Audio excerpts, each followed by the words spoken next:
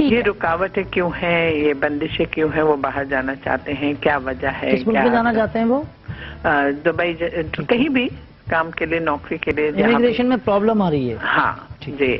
तो उसके लिए जरा मालूम करना है हम्म, ताकि उसमें बताइए और ये रुकावटें क्यों आती हैं? ठीक है बताइए। नाही थैंक यू सो मच आप शो देखते रहिए। अभी आपको मुस्तफ़ा साहब जवाब देते हैं। थैंक यू देखिए मैडम नाहिद ये सात निज़ामी दो मुख्तलिफ़ इंसानों के मुख्तलिफ़ नाम हैं और एक इंसान का नाम बन गया है ये। इसलिए या तो आप सात से पहले किसी नाम का इजाफा कीजिए, या निज़ामी के बाद कोई और नाम उसमें ऐड कीजिए तो ये प्रॉब्लम आपकी सॉल्व हो सकती है।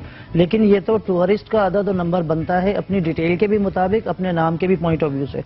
प्रॉब्लम इसलिए हो रही है कि मिस मैच दो इंसानों के मुख्तलिफ़ नाम एक इंसान के साथ जुड़ गए हैं और date of date of birth उससे भी ज़्यादा बिल्कुल मुख्तलिफ़ है इसलिए प्रॉब्लम हो रही है। देखिए मैं ना कभी कभी ऐसा होता है कि कोई डिजिट हमसे ज़्यादा बन जाता है। बिल्कुल। यानी मेरे नाम का आदत ज़्यादा हो गया मेरा लकी नंबर कुछ और था।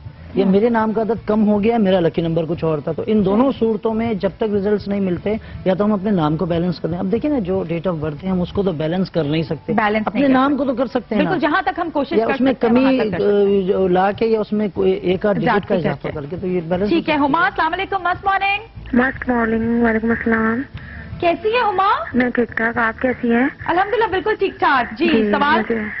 सवाल करना था। बिल्कुल। जी मुझे अपने शादी के बारे में मालूम करना था और फ्यूचर के बारे में।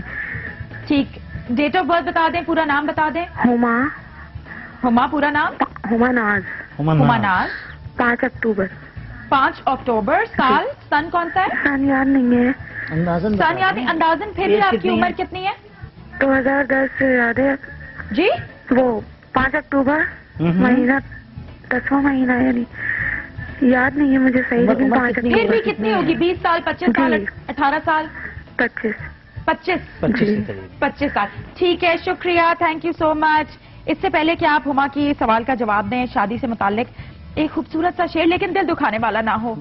सुना दें। चलें ठीक है। सुना है इश्क में यहाँ मैट्रिक भी होता है। कंट्रोल किए हम नाम पे। अच्छा अच्छा। सुना है इश्क में यहाँ मैट्रिक भी होता है नतीजा कुछ भी सही फार्म भर के देखते हैं। क्या बात है? मतलब मैं तो एक बुक रखना मैं काफ़ी देर से फार्म ही। भर रहा हूँ। चले जी जवाब दे देते हैं हम उसमें ये कि हुमानाज आपने जो सवाल किया है अपने हवाले से अकॉर्डिंग टू न्यूमरोलॉजी कि उसमें तो शादी आपकी मदर की चॉइस से हो रही है, शादी आपकी मुकम्मल अरेंज है, लेकिन शादी के बाद बेपना कामयाबी है।